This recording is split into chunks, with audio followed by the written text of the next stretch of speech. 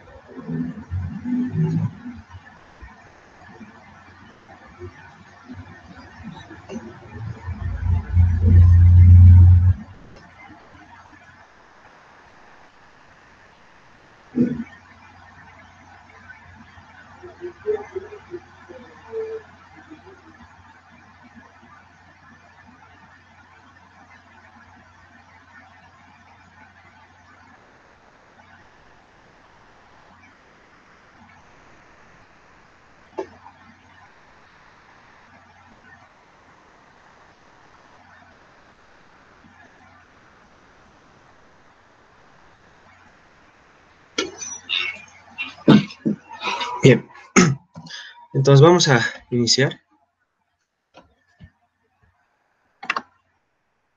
Bueno, eh, nuestro primer paso vamos a determinar, tenemos bases inclinadas, entonces vamos a generar las características geométricas. Características.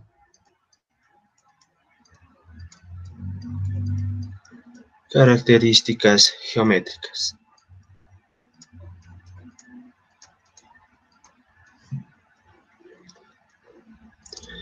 Bien, entonces, eh, ya tenemos definidos los nudos. Recuerden que esta numeración de nudos eh, es arbitrario, depende de, que esté haciendo el cálculo. Entonces, tenemos una barra inclinada que es la barra de longitud 1, 2. Eh, vamos a utilizar el teorema de Pitágoras. Tenemos esa longitud que es... ah, bueno, acá no lo he copiado bien, esto no es 4, según lo que tengo. Esto es 3, por favor.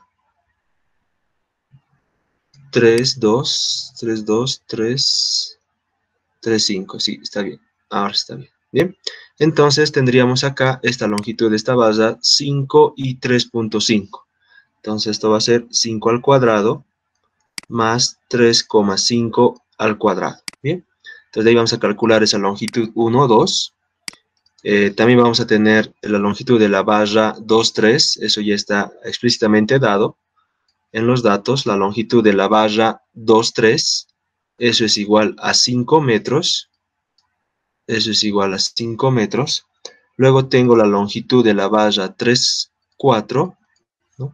3, 4 es una barra inclinada, 5 eh, y 3 al cuadrado. Entonces, es raíz cuadrada de 5 al cuadrado más 3 al cuadrado. Eso también lo vamos a calcular. Y la longitud de la barra 4, 5. Eso también ya está dado en el dato. Es igual a 6 metros, ¿no? Acá está 6 metros. Entonces vamos calculando esto, por favor. yo también tengo acá, voy a ir calculando y lo vamos a ir verificando. ¿Está bien?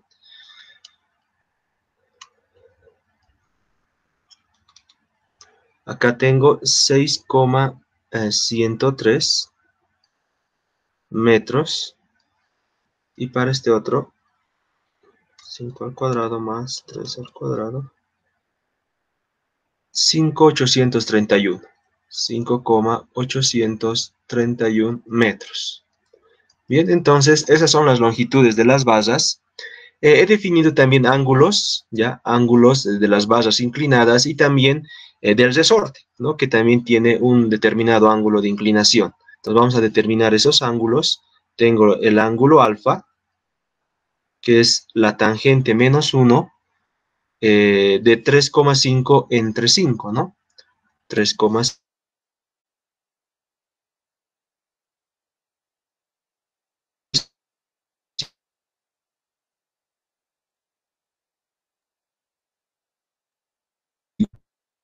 la tangente menos 1 eh, pasó 3 y 5 3 y 5 3 y 5 entonces acá tendríamos es entre eh, luego tengo el ángulo gamma que corresponde al, eh, a la inclinación del resorte. Entonces esa inclinación va a ser eh, acá tengo 5 y esta altura tendríamos 8 ¿no? 8 entonces acá va a ser tangente a la menos 1 de 8 entre 5 ¿bien? Entonces vamos calculando aquellos ángulos. Esto es 3,5 eh, entre 5. 34. 34,992 grados. Luego tengo el ángulo beta, que es 30, 964. 30,964 grados y tengo el ángulo gamma de 57,995. 57,995 grados. Bien. Entonces, hasta ahí estarían las características geométricas. Recuerden que en los cálculos de momentos totales tenemos el módulo de elasticidad por la inercia. Tenemos identificado dos vallas entonces, acá vamos a tener módulo de elasticidad por la inercia del tipo 1 y el módulo de elasticidad de la y la inercia de la barra tipo 2, ¿no? Entonces, eh, acá está. Yo puedo determinar estas inercias. Todas unidades consonas, el módulo está en metros, entonces voy a transformar esto a metros y voy a determinar directamente la inercia como base por altura al cubo altura al cubo, esto entre 12. Acá tendríamos una inercia de este tipo 1 de 1,519 eh, exponente a la menos 3 y la inercia del tipo 2 eh, base base por altura al cubo entre 12 7, 7,146 exponente a la menos 4. Entonces, teniendo esas inercias eh, y multiplicando por los módulos de elasticidad, estos, estos, están en metros a la cuarta, entonces voy a tener eh, la multiplicación del módulo de elasticidad por la inercia, ¿no? Entonces, esto por 2 exponente a la 6. Bueno, para el tipo 2, verificamos, a ver. Base por cubo entre 12 por 2 exponencial 6 sí.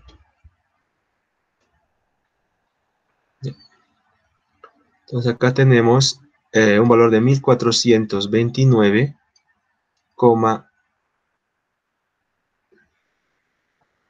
167 ¿ya? esto en toneladas metro cuadrado, ¿no?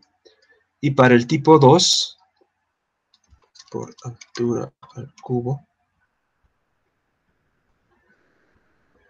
entre 12 por 2 exponente a la 6, 30.000,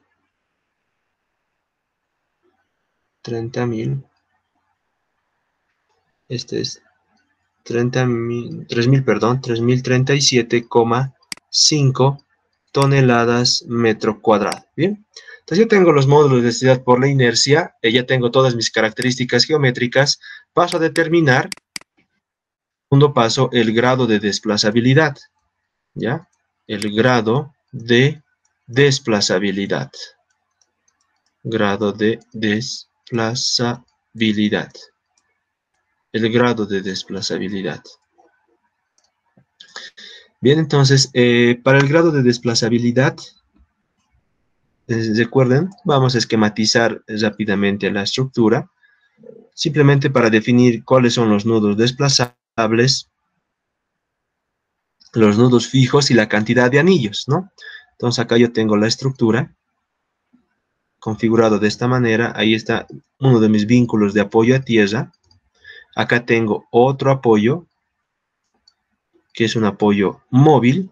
Acá tengo una articulación. Esto continúa y esto baja ahí, ¿no? Estos dos, nudos, estos dos nudos están a la misma altura, ¿no?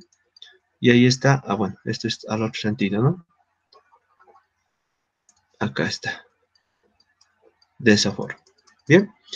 Entonces, eh, cuando calculamos el grado de desplazabilidad que responde a esta ecuación, ¿no? Grado de desplazabilidad igual a nudos desplazables menos los anillos, entonces eh, obviamos del análisis el resorte, ¿no? Un resorte que estaría dispuesto exactamente entre estos nudos. Entonces, quitamos el resorte para ah, evaluar el el tema del grado de desplazabilidad y verificamos, ¿no? Los vínculos, estos dos vínculos de apoyo a tierra son fijos, no tienen ningún tipo de desplazamiento, no, no tienen ningún tipo de desplazamiento.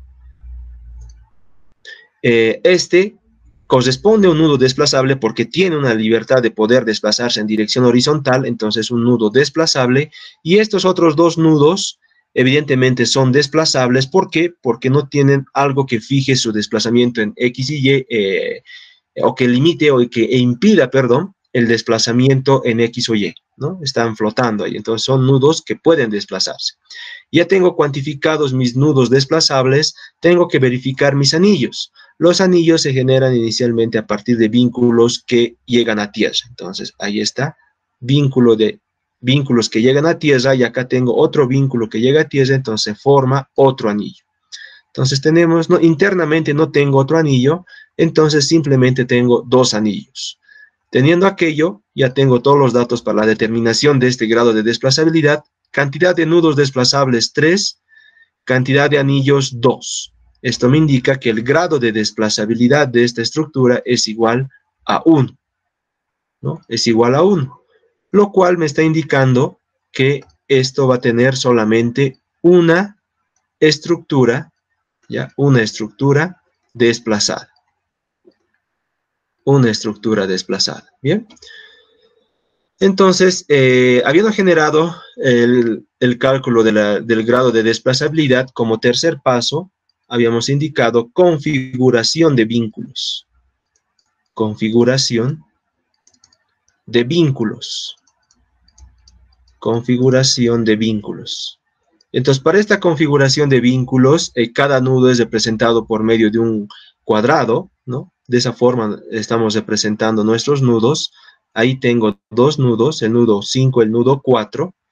Eh, más acá abajo tengo el nudo 3. Un poco más abajo tengo el nudo 2. Y a esta misma altura del nudo 4 tengo el nudo 1. Entonces vamos nombrando cada nudo. Este es el nudo 1, el nudo 2, el nudo 3, el nudo 4 y el nudo 5. Entonces recuerden, para hacer una configuración de vínculos yo debo reflejar la misma condición física del problema. Entonces miren, acá yo tengo, esto es sencillo, tengo dos apoyos fijos, entonces tengo que reflejar esa condición física en mi configuración.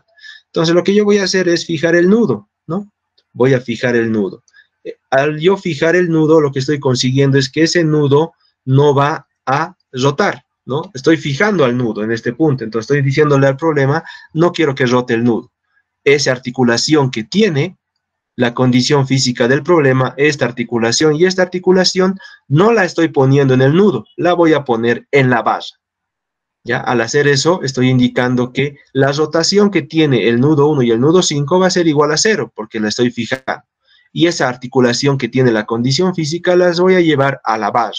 Entonces, esa articulación la pongo acá y en el nudo 1 esa articulación la pongo acá. Esto no era la, única condición, yo podía haber hecho en el nudo 5 que el nudo 5 sí rote. Entonces, si quisiera que rote el nudo, entonces esa articulación la ponía en el nudo. Y esto, esto también refleja la misma condición física, pero me está diciendo de que hay rotación en el nudo.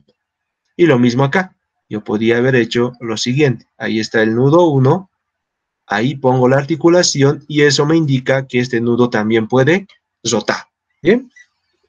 Entonces yo estoy optando por poner la articulación en la base. Bien, entonces eh, ya he reflejado la condición física. Voy a reflejar ahora la condición física de la barra 1-2. La barra 1-2 me dice, bueno, ya he puesto la articulación en la barra y es correcto, miren esta barra articulada y este extremo me dice empotrado. Entonces, entre 1 y 2 tengo que reflejar esa condición y ahí está el empotramiento, ¿no? Estoy empotrando en el nudo, ¿bien? Luego voy al nudo 2 y 3. En el nudo 2 y 3 veo que se están eh, conectando por medio de una articulación. Una articulación la voy a llevar a una valla y la otra la voy a mantener como empotrada. Eso es válido. ¿Por qué? Porque está reflejando la misma condición. Entonces la valla 2, 3, en ambos extremos yo la voy a poner empotrada. Alguien me dirá, pero ingeniero, en este nudo 3 tenemos la articulación. Correcto, sí, tenemos la articulación. Y esa articulación yo la voy a poner acá. Esto me refleja la misma condición física del problema. ¿Por qué? Acá en esta base se van a generar momentos debidos a cargas externas y ese momento externo, perdón, extremo de la valla lo va a transmitir al nudo, correcto, sí lo va a transmitir. Hasta ahí no es reflejado la misma condición física del problema. Pero cuando el nudo quiera traspasar ese momento a la valla 3-4, no va a ser posible. ¿Por qué? Porque tengo incorporado esa articulación. Y eso es la condición física. Pueden existir momentos que se den en, este, en esta valla que si yo quiero transmitirla a la valla, a, esta otra valla, no va a ser posible. ¿Por qué? Porque tengo la articulación y viceversa. Eso es lo que me indica esta articulación. Por eso es que decimos que momentos en este punto son iguales a cero. Entonces, eso estoy reflejando acá. Va a haber momentos en el nudo, pero que no van a ser transmitidos a la valla 3-4 por esta articulación. Y va a haber momentos que tal vez se puedan dar en la base 4-3, pero tampoco van a pasar a 3-2. ¿Por qué? Porque acá está la articulación. Entonces es reflejado la misma condición física. ¿Qué pasa en el extremo 4?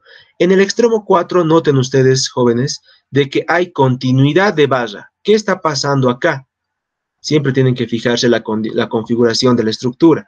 Lo que está pasando en ese nudo es lo siguiente.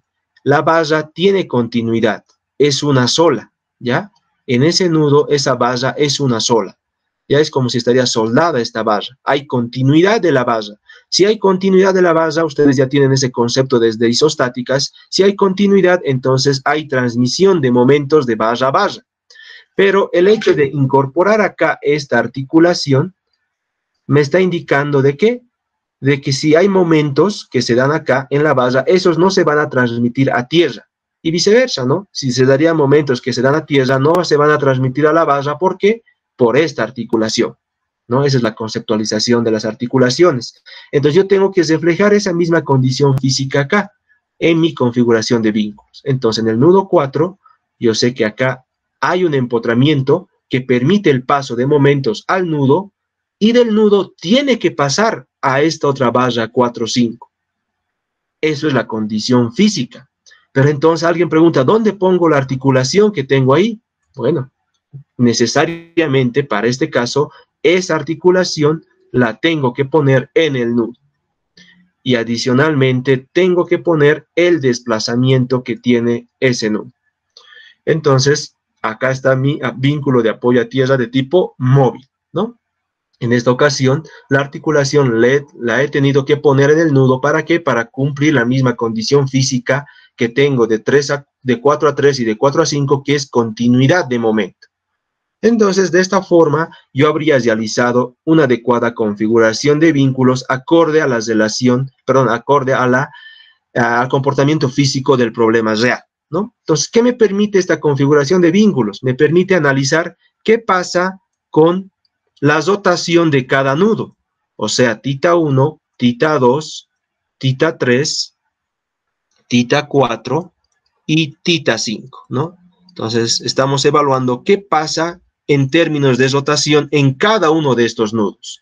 En el nudo 1, el hecho de yo en esta configuración haberlo empotrado de esta forma, me dice que voy a tener una rotación igual a cero. En tita 2 y tita 3, no lo sé, no tengo algo que me fije ese nudo. eh, en términos de rotación, no lo sé, no tengo la certeza, entonces tengo que calcularlo, es una incógnita.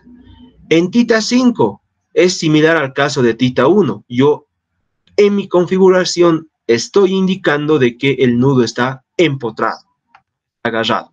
Entonces tengo la certeza que eso es igual a 0. ¿Qué pasa en tita 4? Estas dos configuraciones entre 4 y 5 no son iguales, ¿no? ¿Por qué? Porque yo veo que esta articulación está por debajo del nudo. Eso me indica que este nudo no está fijo, puede rotar debido a esta articulación. Entonces, tita 4 también se convierte en una incógnita. Entonces, tengo tres incógnitas correspondientes a la relación de mis nudos. Adicionalmente, en el grado de desplazabilidad yo he determinado que tengo una estructura desplazada. Entonces voy a tener adicionalmente en términos de desplazamientos también una incógnita, ¿no? Entonces esas son mis incógnitas para este problema. Bien. Habiendo generado esta configuración de vínculos, ¿ya? El siguiente paso y uno de los fundamentales es, ustedes ya lo conocen, es la estructura desplazada. Ustedes tienen que generar la estructura desplazada. Bien. Estructura desplazada. Bien, entonces para realizar la estructura desplazada, ¿qué hacíamos, jóvenes? Bueno, lo ideal es que ustedes esto trabajen con reglas para que faciliten su su rápido trazado de la estructura desplazada, entonces yo acá, ¿qué hago? Me vuelvo a dibujar la estructura para tener un mejor panorama, ¿no? Entonces ahí está, estoy volviendo a dibujar la estructura, simplemente ahora con líneas, ¿no? Con líneas. Entonces eso para facilitar mi, eh, el encontrar esa estructura desplazada que estoy buscando. Bien, ahí está. Obviamente ustedes están notando que también he obviado el resorte, ¿no? Van a ver después que el resorte me interesa solamente los extremos, ¿ya? Y van a ver por qué.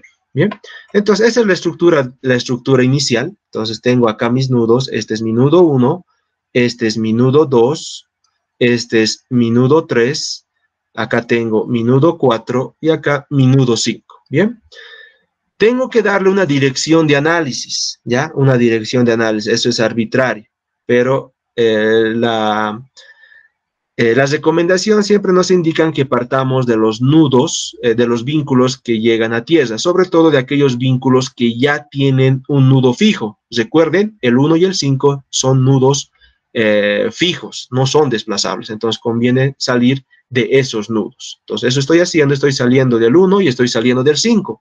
Acá estos nudos son desplazables, entonces esto va a ser arbitrario.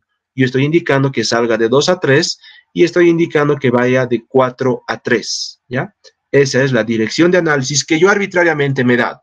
Tengo identificado los nudos, tengo identificado la dirección de análisis, paso a definir los lugares geométricos en cada uno de esos nudos, ¿ya? Voy a comenzar con el nudo 1. ¿Por qué? Porque el nudo 1 está fijo, no tiene ningún desplazamiento ni en X ni en Y. Entonces, ahí se está generando esa recta esa recta vertical que le estoy llamando ahora lugar geométrico del nudo 1 debido a su condición de apoyo. Y también voy a tener otra recta que va a ser esa horizontal y esa se va a llamar lugar geométrico también del nudo 1 debido a su apoyo. Entonces, eh, esos son los lugares geométricos por los cuales puede desplazarse ese nudo. Pero, ¿por qué los he intersectado ahí directamente? Porque ahí está un nudo completamente fijo, ¿no?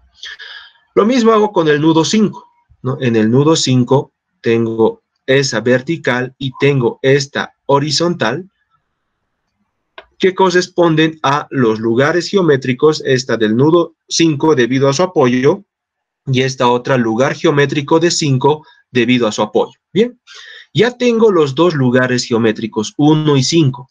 Tengo la certeza que se intersectan exactamente en ese punto. ¿Por qué? Porque son nudos fijos, ¿ya? Entonces, ahí está, los lugares geométricos. Luego me dice que teniendo fijo el nudo 1 y el nudo 5, puedo pasar a determinar los lugares geométricos de 4 y de 2, ¿ya? Entonces, voy a pasar a determinar eh, inicialmente este, ¿ya? Entonces, recuerden, si este nudo está fijo, entonces yo voy a trazar sobre el nudo 2 una recta que pase por el nudo 2 y que sea perpendicular, ¿ya? Que sea perpendicular a la valla 1, 2. Y esa recta, ¿qué se llama? Se llama lugar geométrico del nudo 2, ¿debido a quién? A 1. Bien. No, no puedo identificar que haya otra valla que llegue al nudo 2, según la dirección de análisis que yo me he dado. No hay otra valla que llegue al nudo 2. Entonces, como no hay otra valla que llegue al nudo 2, entonces, ¿qué debo hacer? Debo crear un lugar geométrico ficticio. Y ahí está. Esa recta que ustedes ven ahí es el lugar geométrico de 2 debido a una recta ficticia. Alguien me preguntará, ¿pero por qué lo he hecho horizontal, ingeniero? Por facilidad, ¿no? También podría haberlo hecho vertical, ¿no? Podría haberlo hecho vertical o también perpendicular a esta recta, ¿no? pero ahí está identificado el lugar geométrico ficticio. Lo he hecho horizontal por facilidad, ¿ya? ¿Para qué? Para poder fijar este nudo gracias a esta recta ficticia. Ahora que está fijo este nudo, gracias a esta recta ficticia, entonces recién puedo pasar al nudo 3. Y en el nudo 3, trazar el lugar geométrico del nudo 3, ¿debido a quién? A 2. ¿no? ¿Por qué? ¿Por qué debido a 2? Porque está llegando la valla 2, 3, a partir de, haber fijado el nudo 2. Entonces, la línea que acabo de trazar es una recta perpendicular a la valla 2, 3, que pasa por el nudo 3, y se llama lugar geométrico de 3, ¿debido a quién? A 2. Bien, ya tengo eh, lo que llega al nudo 3. Pero miren, la dirección de análisis me dice que también llega del nudo 4 a la valla 3, pero yo no he analizado todavía el nudo 4. Bien, entonces analicemos ahora el nudo 4. ¿Por qué? Porque el nudo 4 me dice que al nudo 4 le llega la valla 5-4. Entonces, si le llega la valla 5-4 y esto ya está fijo, entonces eso me indica que yo puedo trazar, yo puedo trazar sobre el nudo 4, sobre el nudo 4, yo puedo trazar una recta que es perpendicular a la valla 4, 5 y que pasa por 4 y se va a llamar lugar geométrico de 4 debido a quién? A 5. Alguien me dirá ahí, pero ingeniero, ¿y no tendría ahí otro ficticio? No. ¿Por qué? Porque ahí yo tengo un vínculo de apoyo a tierra de tipo móvil que me dice este nudo puede desplazarse en forma horizontal. Entonces, como tengo ese vínculo de apoyo a tierra de tipo móvil en este punto, entonces ese apoyo móvil me genera este lugar geométrico que estoy trazando ahora, que se va a llamar lugar geométrico del nudo 4 debido a quién? A su condición de apoyo. Su condición de apoyo es un apoyo móvil y ese apoyo móvil está dispuesto de manera horizontal, entonces eso me dice, ese, ese, apoyo móvil me dice que este nudo puede desplazarse de manera horizontal a lo largo de toda esta línea. Alguien preguntará, ¿por qué a lo largo de esta línea? Recuerden, esto es un lugar geométrico y un lugar geométrico conceptualmente es un espacio, ya un espacio en donde un punto puede desplazarse. ¿no? Ahí está. Ahí está el lugar geométrico. Bien, entonces gracias al lugar geométrico de 4 debido a su apoyo y a este lugar geométrico de 4 debido a 5, el nudo está fijo habíamos dicho que intersección de dos lugares geométricos fija el nudo. Entonces, por el momento ese nudo está fijo. Como ya está fijo, ahora recién puedo pasar al nudo 3. Entonces, sobre el nudo 3, trazo el lugar geométrico, ¿ya? Trazo el lugar geométrico de 4 debido a 3, perdón, de 3 debido a 4, que es una recta perpendicular a la base 3, 4 y pasa por el nudo 3. Entonces, este es el lugar geométrico de 3 debido a quién? A 4. Bien, miren, ya tengo fijo toda mi estructura a partir de los lugares geométricos y he fijado la estructura gracias a quién? A este lugar geométrico ficticio. Si yo no tenía ese, lugar geométrico ficticio, no podía generar la, la fijación de la estructura y esto se iba a mover, ¿no? Y eso es lo que me indica, ¿no? El grado de desplazabilidad. Grado de desplazabilidad igual a 1, una estructura desplazada, entonces Ahí está. Una estructura desplazada gracias a un lugar geométrico ficticio. Bien. Entonces ya tengo, ¿no? Ya tengo yo mis lugares, mis lugares geométricos. ¿Qué tengo que hacer? El siguiente paso es quitar este lugar geométrico ficticio y desplazarlo, ¿ya? Mover este lugar geométrico ficticio. Y eso es arbitrario, ¿ya? Eso es arbitrario. En esta ocasión, yo ese lugar geométrico ficticio lo voy a desplazar hacia abajo. Ahí está. Lo he desplazado hacia abajo. Entonces, inicialmente estaba pasando por 2, ahora está acá abajo. El nuevo lugar geométrico de 2 debido a una recta ficticia. Entonces, ¿qué ha pasado? Esto ha desplazado una distancia delta. Yo lo he desplazado, es el lugar geométrico ficticio, hacia abajo, una distancia delta. ¿No? De tal manera que acá, este nudo 2 ha venido hasta acá. ¿No? Ahí está. Y se ha generado ese punto. Este punto que ustedes ven ahí es un punto 2 trasladado. ¿Ya? Pero cuando este lugar geométrico ficticio en su nueva posición se ha intersectado con este lugar geométrico de 2 debido a 1, entonces esa intersección de lugares geométricos me genera este punto y ese punto es el punto 2 prima. 2 prima. La última posición del punto 2. Bien, ya tengo la posición final del punto 2. Entonces, cuando ya está fijo el nudo 2, me dice, ah, ahora sí puedes pasar al nudo 3. Bien, entonces, ¿qué ha pasado con esta barra 2, 3 debido a este desplazamiento delta? Bueno, esta barra 2, 3 ha bajado, así. Ahí está, esta línea segmentada me representa cómo ha bajado esta barra 2, 3 a esa posición. De tal manera que Debido a este movimiento de 2 a 2', esta barra ha bajado. Y como ha bajado, acá en este punto, en este punto, se ha generado el punto 3 trasladado. Ahí está el punto 3 trasladado. ¿Y qué me indica el procedimiento? Que sobre 3 trasladado tengo que volver a trazar el lugar geométrico de 3 debido a 2. Pero ya no pasando por 3, sino ahora por 3 trasladado. Entonces, este sería el nuevo lugar geométrico de 3 debido a 2, pero ahora pasando por 3 trasladado.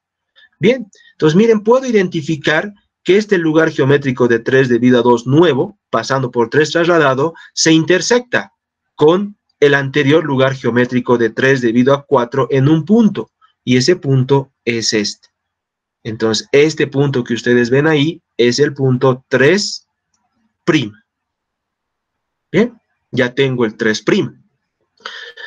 ¿Qué pasa con el eh, nudo 4? Eh, Me dice tienes que ir de 5 a 4. En el nudo 5 no tengo ningún problema, es un nudo completamente fijo y lo que era 5 se mantiene como 5'. Lo mismo en el nudo 1, ¿no? En el nudo 1 es un nudo fijo, entonces lo que era 1 también es 1'. No tiene ningún desplazamiento por su condición de apoyo. ¿Qué pasa con 4? ¿Ya? ¿Qué pasa con 4? Con 4 me dice que de 5 vaya a 4, ¿ya? Pero en 5 no ha habido ningún desplazamiento que haga que este nudo pueda desplazarse según la condición de apoyo móvil que tiene ahí. Esa es la dirección de análisis que yo he considerado, ¿ya? Entonces, si el nudo 5 no se ha movido, entonces eso no ha generado ningún desplazamiento en el nudo 4 entonces este también es 4'. Alguien dirá, pero ingeniero, ¿hay un apoyo móvil ahí? Sí, pero yo, la dirección de análisis que he tomado me indica que para ir a 4 tengo que evaluar primero 5, pero 5 no tiene ningún desplazamiento horizontal, por lo cual el 4 tampoco. Otro aspecto hubiese sido que tal vez vaya de 3 a 4. Si yo hubiese ido de 3 a 4, tal vez este desplazamiento, y considera que sí, este desplazamiento en 3 hubiese generado ese movimiento en 4. ¿Ya? Pueden analizarlo, pueden ver, les va a salir una estructura un poco distinta, pero el resultado, ¿ya? El resultado eh, de las reacciones de apoyo finales tiene que darles las mismas, ¿ya? Bien, entonces, eh, ahí está, ya tengo identificado mi estructura desplazada y mi estructura desplazada correspondería a unir todos los puntos primas, ¿ya? Entonces unimos 1' con 2', ahí está. Luego tengo 2' con 3', Obviamente está exagerado, estos desplazamientos son realmente pequeños.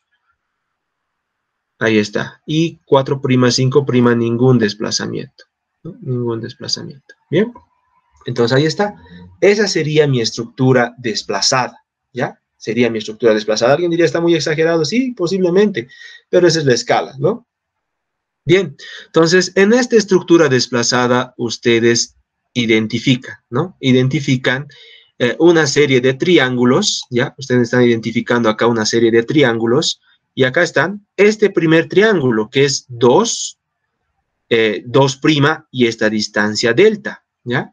Entonces, miren, acá yo tengo ese primer triángulo, ahí está, digamos, delta, ¿ya? Ahí está delta, acá está la recta, perdón, delta, acá vuelvo a dibujar, esta es la distancia eh, el lugar geométrico que hemos trazado de ese triángulo, y acá está la recta ficticia, ¿no?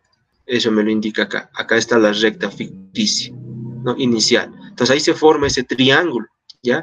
Donde, ¿cuáles son los datos? Tengo delta, eh, estos son los puntos, ¿no? Este es el punto, este sería el punto 2, este sería el punto 2'. No le pongo el 2 trasladado porque eh, serían triángulos eh, simétricos, ¿no? a partir de este eje de simetría de 2 a 2'. ¿bien? Entonces ahí está delta 2, 2', ¿no?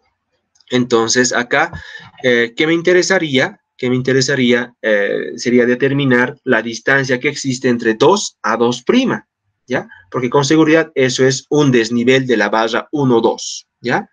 Entonces, eh, recuerden que acá yo tengo un ángulo alfa de la barra 1, 2, ¿ya? Acá está el ángulo alfa. Entonces, por perpendicularidades, recuerden, este lugar geométrico rojo, que es este mismo de acá, es perpendicular a la barra 1, 2, y esta distancia delta es la perpendicular a la horizontal que forma el ángulo. Entonces, ese ángulo alfa que nosotros tenemos está acá. Ese es el ángulo alfa. Por relaciones trigonométricas, yo digo coseno del ángulo alfa va a ser igual al cateto adyacente, que es delta, sobre la hipotenusa, que es la recta 2, 2', la que me interesa hallar. De acá despejo 2, 2', igual a delta sobre el coseno de alfa, ¿ya? Eh, alfa lo hemos determinado y alfa es 34992, ¿no? Entonces, acá tendríamos 34, directamente 34, 34,992, ¿bien?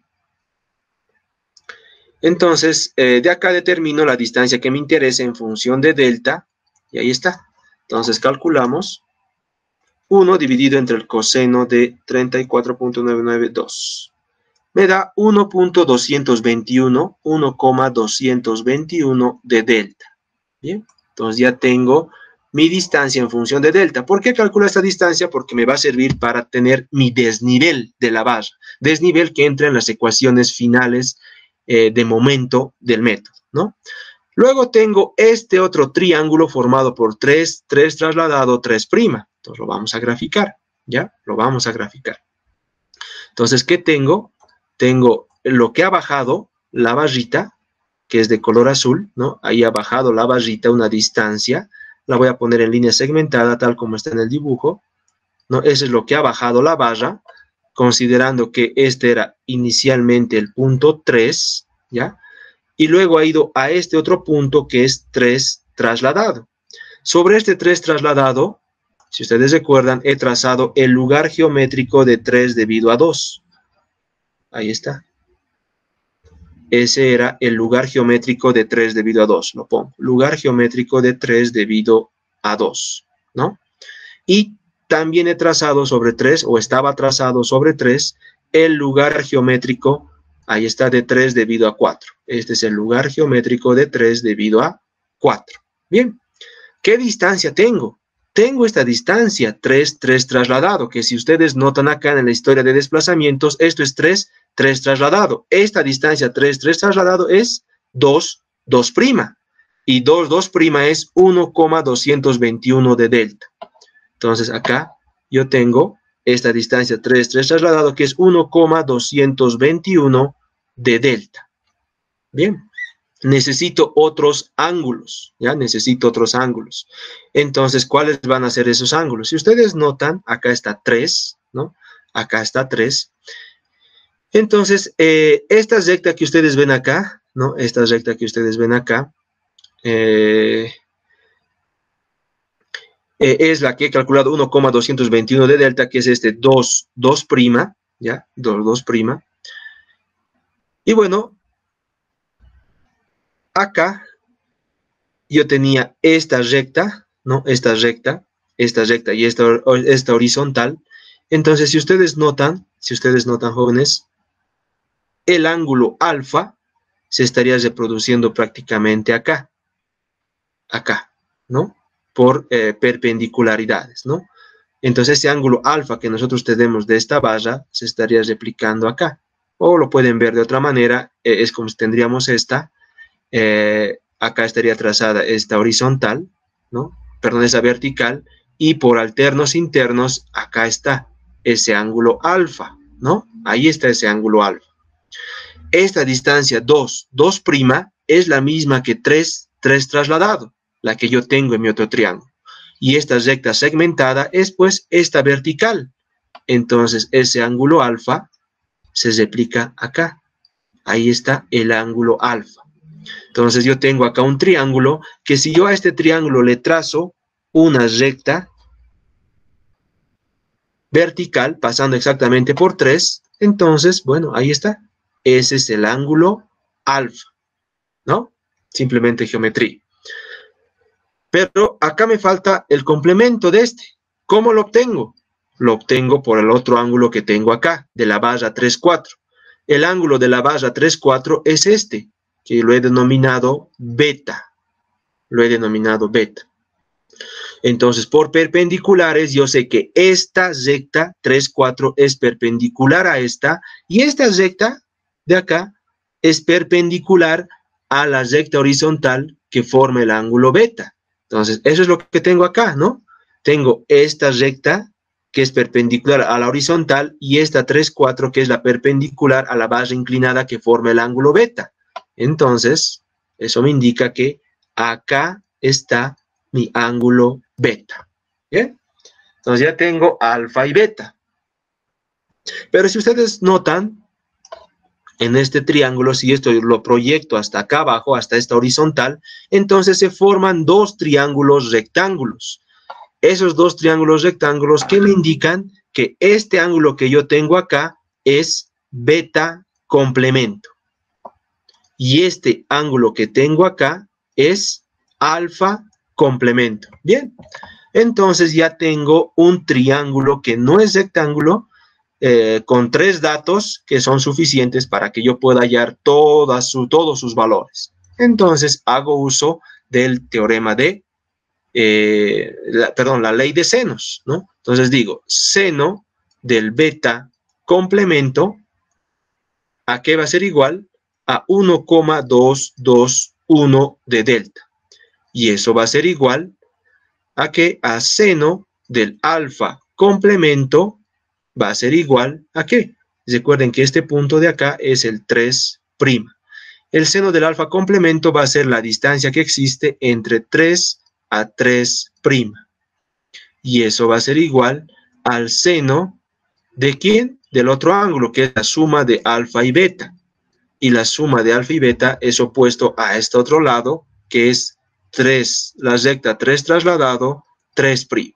Bien, pues, a partir de esta ley de senos, yo determino, eh, determino estos valores, ¿no? Entonces, ¿qué tendría? ¿Qué necesitaría? Necesitaría, ah, me, faltaría de este triángulo hallar el 3, 3' y el 3 trasladado 3'. Bien, entonces hacemos aquello.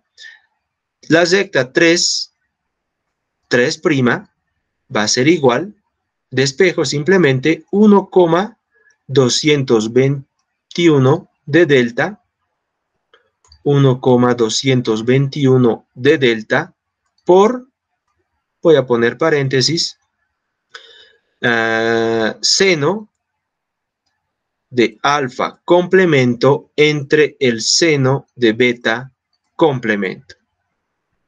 Con ello, voy a poder obtener la distancia 3, 3', ¿ya? 3, 3', eh, en función de delta. ¿Cuánto es alfa complemento, beta complemento? Nosotros tenemos el valor de eh, alfa, ¿no? Ahí está. ¿Dónde está? Acá está el valor de alfa. Entonces, simplemente digo 4.992, ahí está. Entonces, simplemente 90, el alfa complemento va a ser 90 menos este ángulo, ¿no? Entonces, ese ángulo me dice que me sale, acá voy a reemplazar, este alfa complemento es 55,008, ¿ya? El beta complemento, lo propio, 90 grados menos 30.964, 59,036. Entonces, este beta complemento, 59,036. Con esos valores encuentro la distancia que existe entre 3 a 3'. Entonces calculamos, decimos seno de 55.008 dividido entre el 9.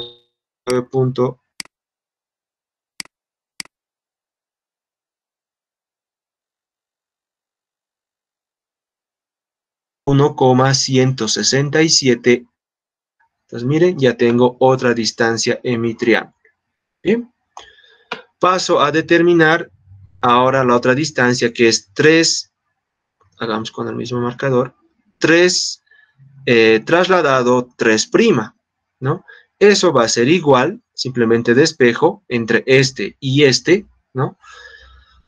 Va a ser igual a 1,221 de delta multiplicado por quién? Por el seno de alfa más beta, que son datos, entre el seno de quién? De beta complemento. Beta complemento. Entonces yo ya tengo ese dato, el beta complemento es 59,036 y me faltaría la suma de alfa y beta. Entonces la suma de alfa y beta, 34.992 más 30, perdón, 964, 65,956. Entonces acá está.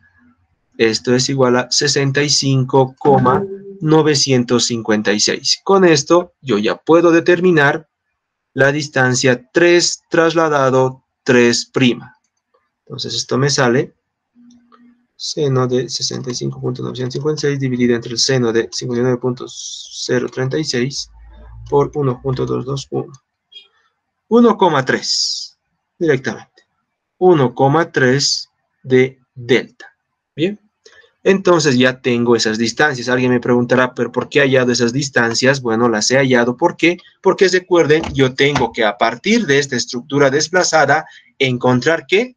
Los desniveles. ¿Ya? Entonces a partir de esto yo encuentro los desniveles. Desniveles de la estructura. ¿Qué son esos desniveles? Son los deltas de cada una de las vallas. 1, 2, 2, 3, 3, 4 y 5, 4. ¿Por qué yo determino esos desniveles? Porque si recordamos las ecuaciones totales de momentos vinculan rotaciones en nudo y desniveles de valla. Bien, entonces evaluemos cuáles son esos desniveles en función a la estructura desplazada. Por ejemplo, la valla 1, 2. La valla 1, 2 Miren, la barra 1, 2 me dice que en 1 está fijo, pero en 2 ha ido de 2 a 2 primo. ¿No? Entonces recuerden, si la barra solamente rota, entonces tiene desnivel. Si la barra desplaza y luego rota, tiene desnivel. Pero si la barra solamente desplaza, entonces el desnivel es igual a cero. En este caso veo que la barra ha ido, la barra 1, 2 está de 2 a 2 prima. Entonces quiere decir que esta barra 1, 2 ha rotado. Ahí está, ha rotado. Y ha rotado en sentido antihorario. Como ha, retido, ha, rotado en sentido antihorario, entonces recuerden, todas las rotaciones en este método que sean antihorarias son positivas. ¿Y cuál va a ser el desnivel? El desnivel va a ser la distancia que existe entre 2 a 2 prima. Bien. Entonces, ese desnivel es la distancia que existe entre 2 a 2' y además esa es positiva, ¿ya? Es positiva, ¿bien? Y he evaluado el desnivel 1, 2. ¿Qué pasa con 2, 3? La barra 2, 3 inicialmente estaba acá de color azul, luego ha bajado, ¿no? Hasta 2', 3 trasladado, luego en 2' se ha fijado, y luego de fijarse en 2' ha ido de 3 trasladado a 3'. Entonces, ¿cuál va a ser su desnivel? Esto quiere decir que primero la barra ha desplazado todo en conjunto, luego se ha fijado acá y ha rotado. Miren, ha rotado, voy a hacerlo con el mismo color del anterior, ahí está, esta barra ha rotado. Ha rotado en dirección horaria.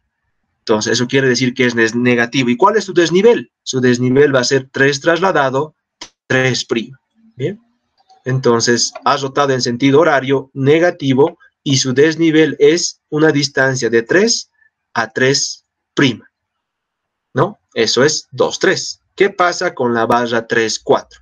La barra 3, 4, ¿qué me dice en su historia? La barra 3, 4 veníamos de 5 a 4 y de 4 a 3. Entonces, en 4 esta barra está fija, ¿ya? Ahí está. Esta barra está completamente fija. Pero, ¿qué pasa acá? La barra está fija, ¿no? Esta barra está de 3 a 3', Entonces, ese es su desnivel.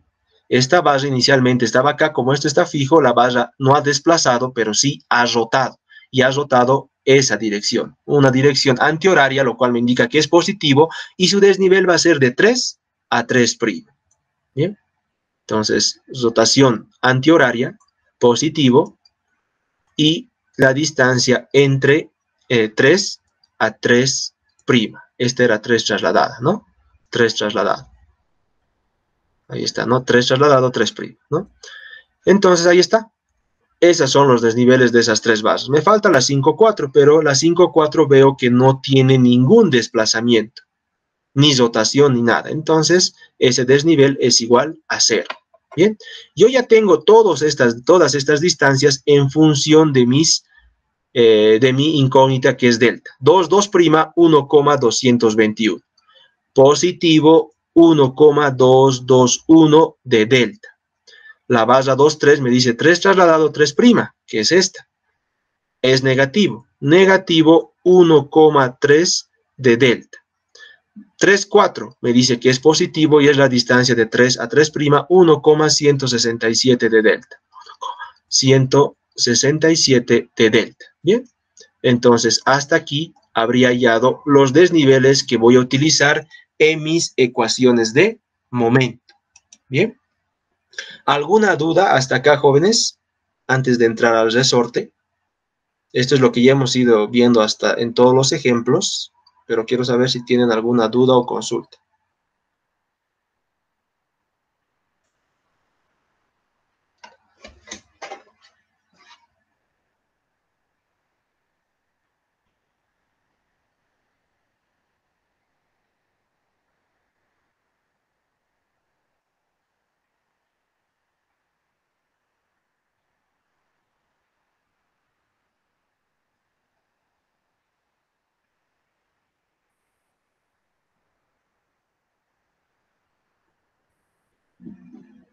Bien.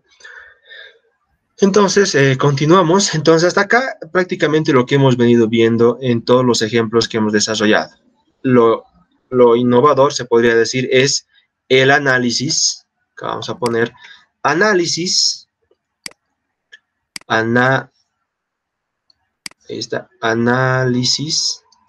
Análisis eh, de la fuerza, de la fuerza y desplazamiento, y desplazamiento, desplazamiento del resorte. Con los resortes que habíamos visto hasta ahora era sencillo porque el resorte estaba actuando directamente en un solo nudo, pero ahora vemos que el resorte está aplicado en dos nudos, ¿no? Entonces, ¿qué tengo yo acá?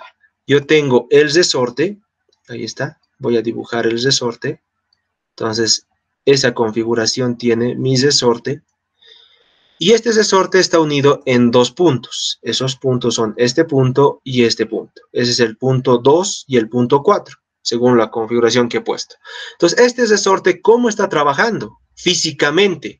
Físicamente me dice que en este extremo hay una fuerza del resorte y en este otro extremo es esa misma fuerza del resorte. ¿Por qué lo pongo de manera atractiva, en, forma, fuerzas de tracción? Porque estos resortes eh, pueden trabajar a tracción o compresión, esto es indistinto, ¿no? El signo me dirá si este resorte está trabajando a tracción o compresión, ¿ya? Pero inicialmente estoy incorporando que están trabajando a tracción. Entonces, eh, manejamos la conceptualización de la fuerza del resorte. Esta fuerza de un resorte de estas características vinculan rigidez con desplazamiento. Entonces, conceptualmente nosotros habíamos manejado los anteriores resortes, fuerza, fuerza del resorte, rigidez por desplazamiento. Pero este era para los resortes que tenían solamente esta característica, ¿no? Pero el concepto es el mismo, ¿ya? Eh, acá solamente teníamos esa fuerza, ¿no? Esa fuerza genera, en función de la rigidez, genera un desplazamiento. Esto es lo mismo. Rigidez, desplazamiento. Pero tenemos dos nudos en cuestión. Entonces, para este caso es la rigidez, desplazamiento del resorte en el origen menos el desplazamiento del, del resorte en el extremo. Origen, extremo. Para este caso, esta es la ecuación para este tipo de resortes. Tengo que evaluar origen extremo para el problema, para este problema, para el problema, yo voy a definir cuál es mi origen y cuál es mi extremo. Entonces yo voy a decir, mi origen va a ser el nudo 2 y mi extremo va a ser el nudo 4. ¿Ya? De tal manera que, ¿qué voy a tener yo? De esto voy a tener que la fuerza del resorte va a ser igual a la rigidez de quién? De un desplazamiento delta, ¿ya? Delta eh, del resorte, voy a poner, en el nudo, bueno, seremos consonos con lo que hemos puesto origen extremo, entonces desplazamiento del resorte, en donde, en el origen, ¿el origen cuál es? 2, menos el desplazamiento del resorte en donde en el extremo. Yo lo estoy poniendo 4, ¿ya? 4. Bien. Entonces, eh, con esto estaría diciendo que mi origen es el nudo 2 y mi extremo el nudo 4, ¿ya? Entonces, ¿qué voy a hacer con esto? ¿Qué estoy haciendo en función a esto? Como ya tengo para el problema cuál es mi origen y mi extremo, entonces, si ustedes notan, eso ha tenido una razón de ser porque he elegido origen extremo. Eh, la recomendación parte que ustedes elijan el origen en un nudo que se desplaza. En este caso, el nudo que se ha desplazado es el nudo 2. Entonces, ahí está, se ha desplazado. Y el otro, eh, y el extremo, ustedes lo ubiquen en un nudo que no se ha desplazado del resorte, que en este caso sería 4. ¿Ya? Ahora alguien preguntará, ¿pero qué pasa si los dos nudos se mueven? Entonces va a ser indistinto el cual elijan ustedes, origen o extremo pero cuando tengan que un nudo, que los nudos que vinculan al resorte, solo uno de ellos se desplaza, que en este caso es el nudo 2, entonces el, ese nudo considérenlo como origen y el otro considérenlo como extremo. ¿Bien? ¿Por qué? Porque en ese caso, ¿qué voy a tener acá para el problema? Que esa fuerza del resorte va a ser igual a la rigidez desplazamiento del resorte en el nudo 2 origen menos 0. ¿Por qué 0? Porque en este extremo del resorte, en este extremo del resorte, eh, no, hay desplazamiento, no hay desplazamiento. Entonces, en este caso particular del problema, la fuerza del resorte que tenemos ahí va a ser igual a su rigidez por el desplazamiento del resorte en el nudo 2. Esa va a ser la fuerza, esta fuerza de este resorte. Ahora, obviamente, si el nudo 4 se movería, entonces, bueno, va a haber un valor que tenemos que calcular. Bien, entonces, con esto, ¿qué yo haría? ¿Qué tengo? Yo vuelvo a dibujar el resorte. Ahora quiero evaluar este delta del resorte en función a mi incógnita. ¿Cuál es mi incógnita? El delta pequeño. Entonces, acá tengo yo, yo tengo acá el resorte. Bueno, acá le estoy cortando al resorte. Y voy a analizar el resorte en ese extremo en coordenadas globales, ¿no? La coordenada global es esta, de color rojo. Esa es mi coordenada global, donde esto es X, esto es Y, ¿no? Estoy haciendo un análisis de, eh, de coordenadas, ¿ya? Un análisis de coordenadas del resorte, ¿ya?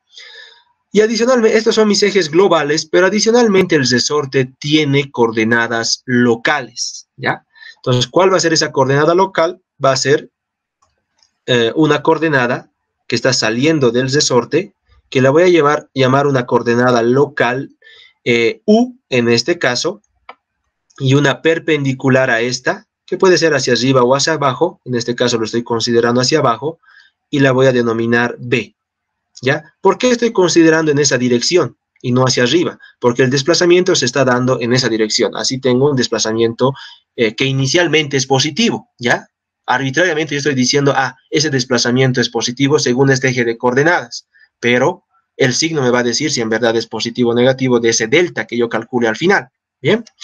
Entonces tengo coordenadas local, globales y coordenadas locales, ¿ya? Entonces el nudo 2 está acá, Acá está el nudo 2. ¿Qué ha pasado con el nudo 2? Si ustedes recuerdan, sobre ese nudo 2, exactamente acá, por eso lo hago con una línea verde, existía el lugar geométrico de 2 debido a una recta ficticia.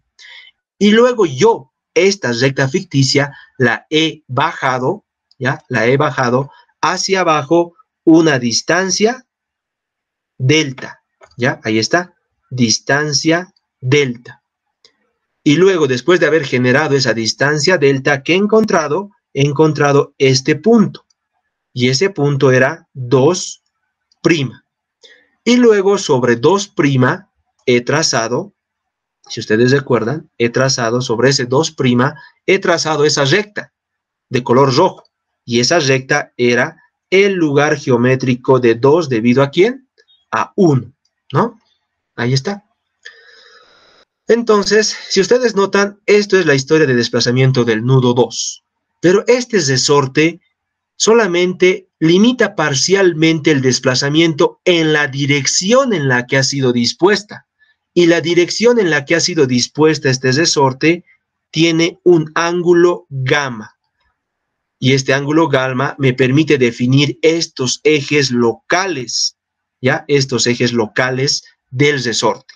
Entonces, este resorte solamente puede desplazarse en esa dirección, que en este caso sería la dirección del eje U. Solamente ahí puede desplazarse, no puede venirse de 2 a 2', ¿no? Este resorte tiene esa característica, desplazamientos en la dirección en la que es dispuesta. Entonces, este delta del resorte se estaría manifestando acá, sobre este eje. Entonces, como esta es la posición final del punto 2, yo trazo sobre ese punto 2 una recta perpendicular al eje U y ahí eso me va a permitir determinar que el delta del resorte sobre ese eje. Ahí está. Eso que estoy acabando de trazar, que ustedes ven ahí, es el delta del resorte en el nudo 2. ¿Ya? Ahí está. Entonces, si ustedes notan, se forman estos, se forma este triángulo, ¿no?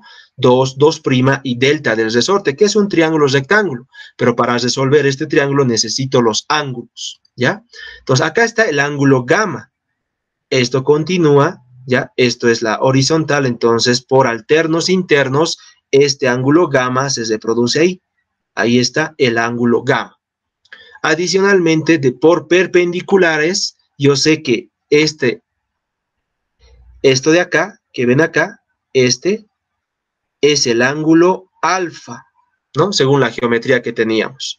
Y acá se forma el triángulo rectángulo y este ángulo que ustedes ven acá es el alfa complemento. Bien. Entonces, ¿cuál va a ser el ángulo que yo necesito? Bueno, pues yo necesito lo voy a hacer de este color, yo necesito este ángulo, ¿ya? Ese ángulo. ¿Y a qué va a ser ese, ángulo? Según lo que tengo acá, ese ángulo va a ser igual a gamma menos el alfa complemento. Bien, ya tengo todos los datos. Entonces, tengo de dato alfa, alfa es igual a 34,992 grados.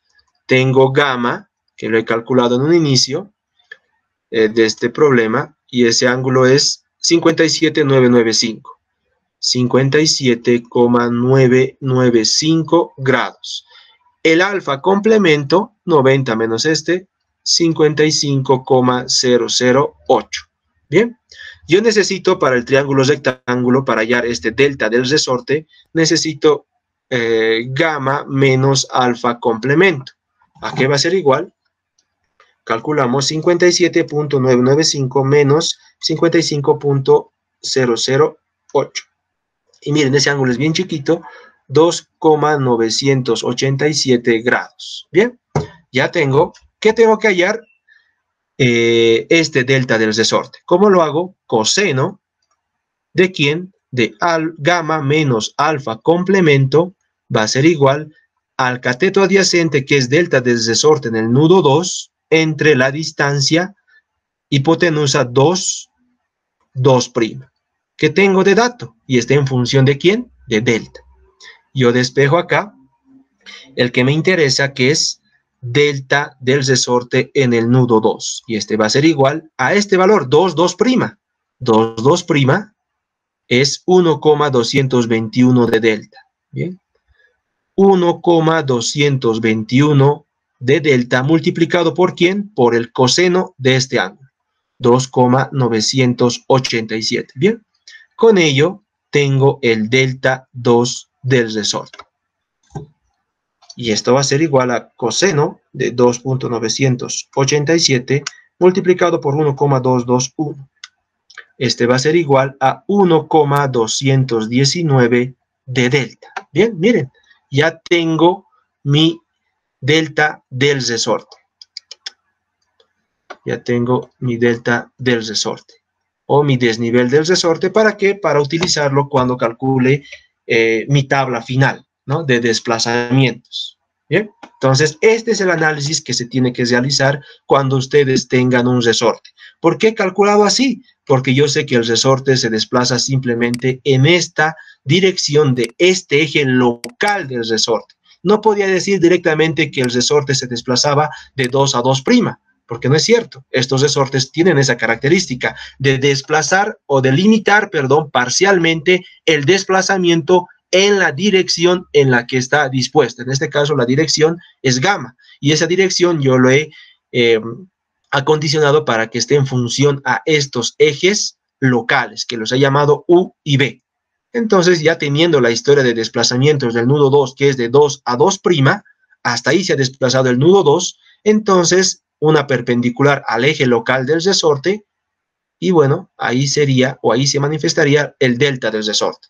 Ahora, si ustedes o si hubiésemos tenido en este problema un desplazamiento también en el nudo 4, entonces hubiese tenido que analizar también el nudo 4. ¿ya? El nudo 4 tendría que haber hallado el delta del resorte en el nudo 4. ¿Bien? ¿Alguna consulta, jóvenes, respecto a este análisis del resorte?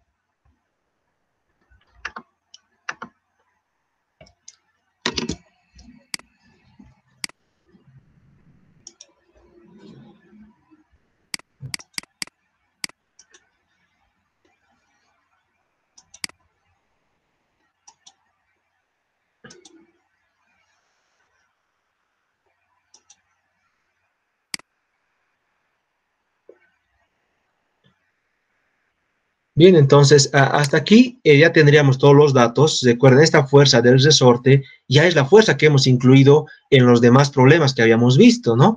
Fuerza del resorte igual a R por delta R. Ya tengo ese delta R en función del delta, entonces simplemente es incorporar esta fuerza del resorte en la tabla que teníamos y calcular la solución del problema, porque recuerden que este resorte está generando la hiperestaticidad del problema. Bien.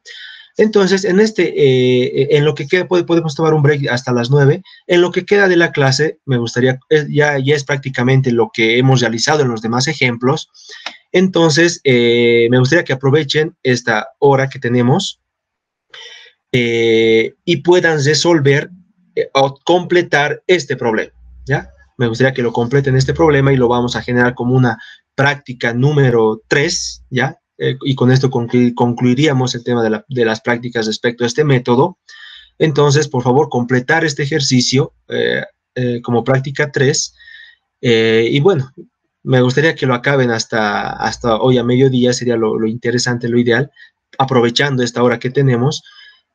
sin embargo, voy a dejar espacio para que ustedes puedan subirlo, subir esta solución para que puedan analizarlo, tal vez alguno no ha podido asistir el día de hoy, entonces lo puedan presentar hasta la siguiente clase, ¿ya?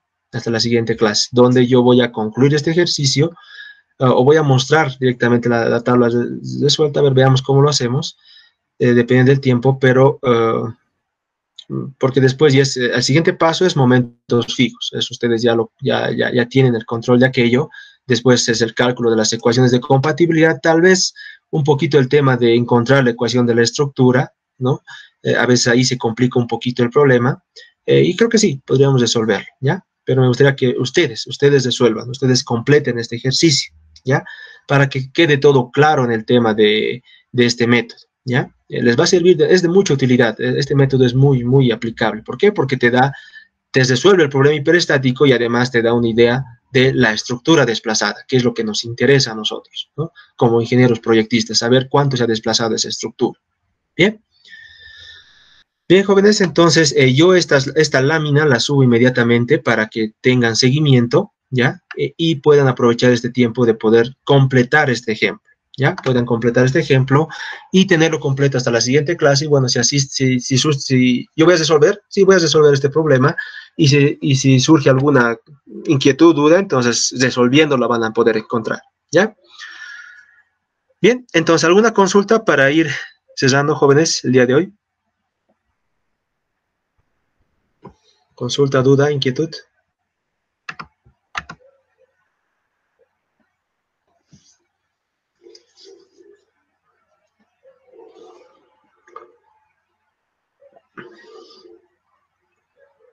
Bien, entonces eh, pueden tomar un pequeño refrigerio y bueno, eh, yo, yo, mientras tanto voy a subir esta, esta lámina a la plataforma como clase de hoy día eh, y bueno, aprovechen esta hora y media que tenemos de 9 a 10 y media para completar el ejercicio. También voy a crear el espacio para los que quieran subir la solución, tal vez quieran encontrar ya la solución hoy día y, y subir.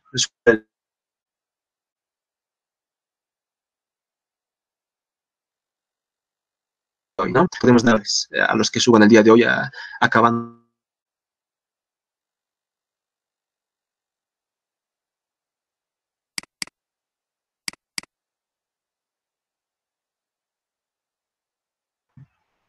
se cortó.